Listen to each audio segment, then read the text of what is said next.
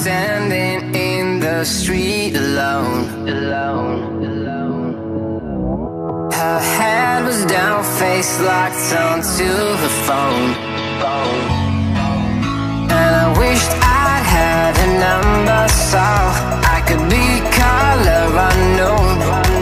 And then I tell her, look into my eyes and never let it go.